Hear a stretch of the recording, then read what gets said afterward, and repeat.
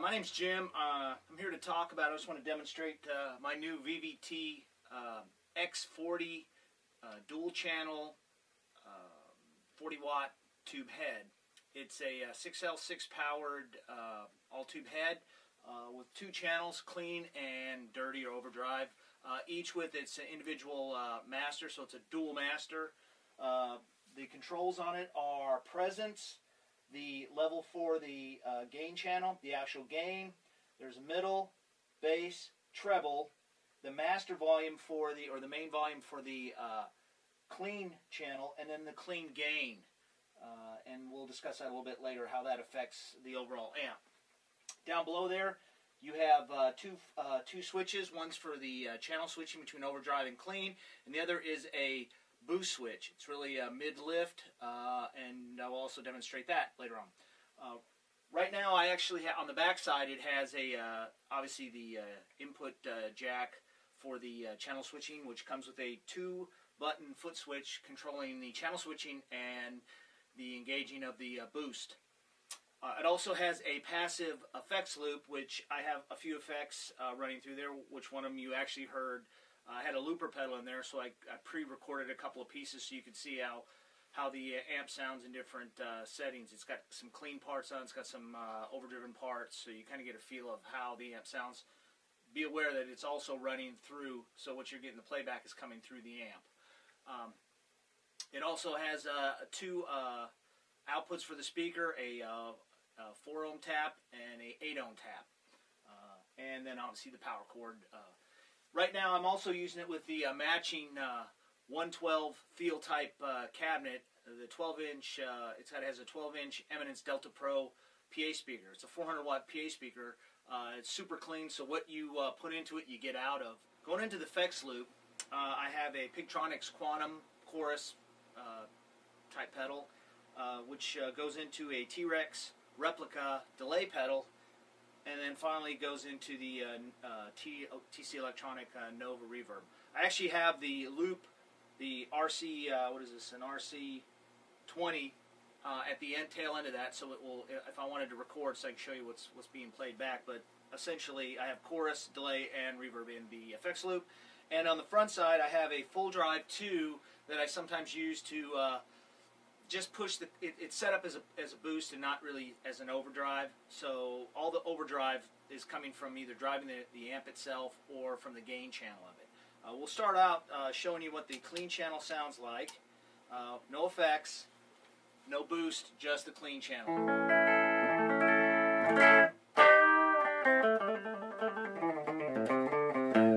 Now I can sh shuffle through the uh, the different pickup settings uh, the guitar I'm using is a uh, 1993 PRS CE22. I figure a lot of guys have PRSs, so this would be a good one to demo this amp with.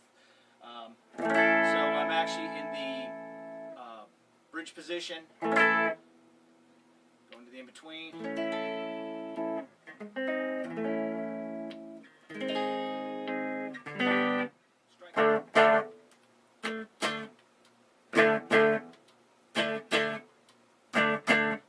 Basically I've cycled through all the positions. Uh, it sounds really nice uh, when you're using different uh, delay time effects.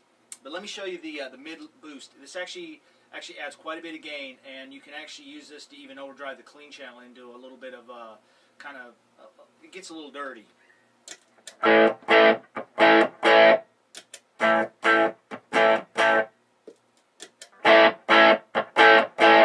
See it's quite a bit of gain on there. Now if I shift it between the different pickups, so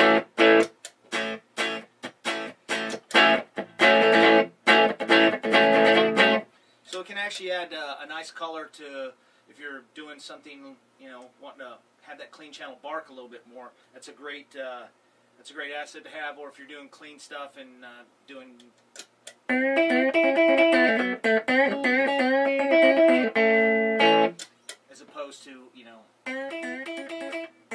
So you get the idea that if uh, doing some sort of uh, uh, chicken picking or the uh, fingery stuff, a lot of country guys use, perfect for that. Uh, okay, now I'll go into using it. you can hear what it sounds like with a little reverb.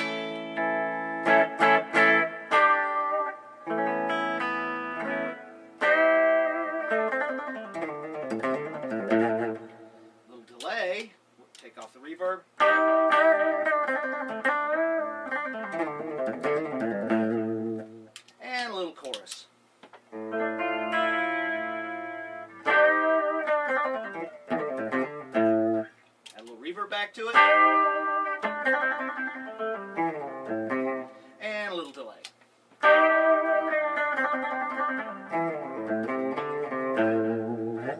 Now, as I said earlier, uh, I do use a full drive sometimes in the front end to kind of give it. This takes pedals in the front end pretty well, also. So just to show you, um, here's the clean channel. Here's a clean channel with the full drive actually just set for a little bit of a clean boost. So if I roll off in one of the other pickups, just gives a little more push in the in the sound.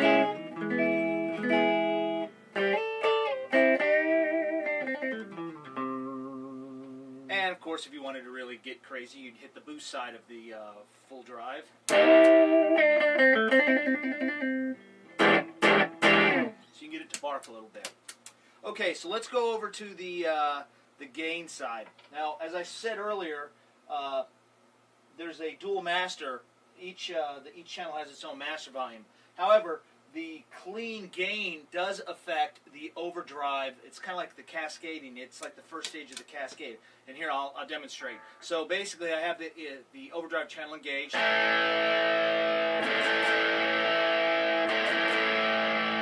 as I as I turn down the input gain for the clean channel, you'll see how it affects the gain channel, the overdrive channel.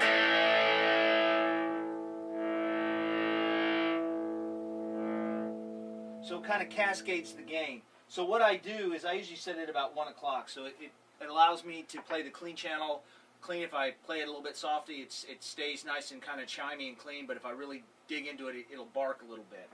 Okay, and now actually the, the gain channel for this particular setting I have set at 12 o'clock. You can see, there's plenty of gain.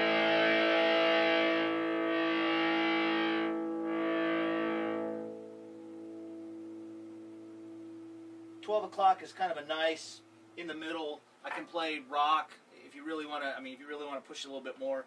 Uh, you have the boost switch, which I will show you now. Uh, this is the uh, with the boost switch not engaged, and then I'll play it engaged.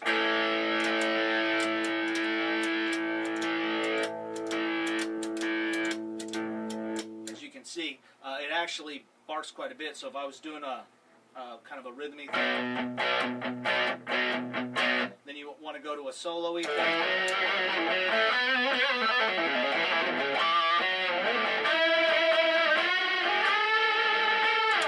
Really, it's all the gain you'd really need is really done inside the amp. Uh, but I have the full drive here, and sometimes I'll, I'll use it just to make the 11 go to 11 and a half. Uh, I kind of call that, that boost switch kind of the 11 switch. Uh, obviously, uh, Spinal Tap reference. Uh, and then the full drive just kind of drives it beyond that a little bit. It's all for a clean boost. Um, so now I'll show you uh, what it sounds like with some effects in the effects loop again. I said it's a passive effects loop, so there's no uh, controls for send and receive. Um, but it seems to work really well with the three pedals I have here. So we use the reverb. So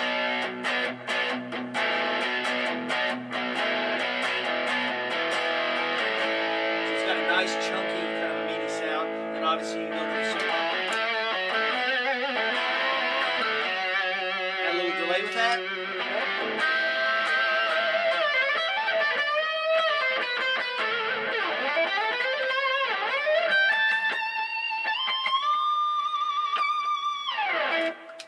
The idea how that goes. Well, now I can also show you with the full drive because sometimes you just want 11.5.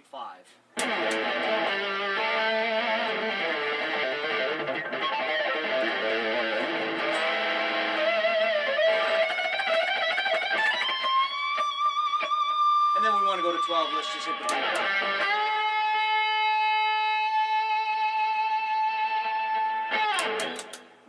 Just here to ver- I mean, I'm playing this and talking at the same time, so you understand the volume. I'm not.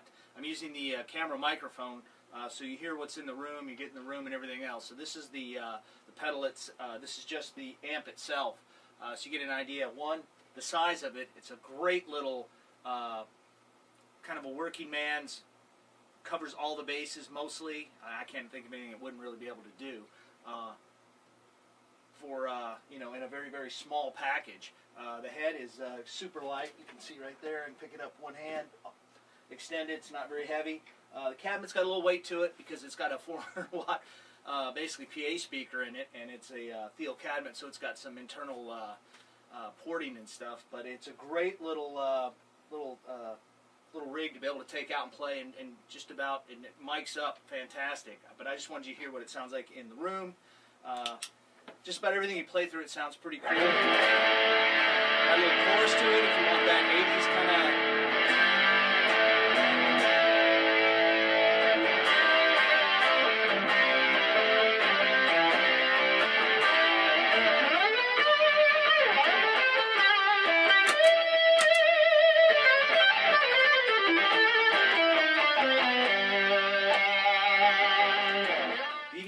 X40. It's a great amp. Uh, I'm enjoying it. Um, any guys looking for uh, something uh, small, compact, but covers all the bases? It's pretty hard to beat this amp. Uh, made by VVT.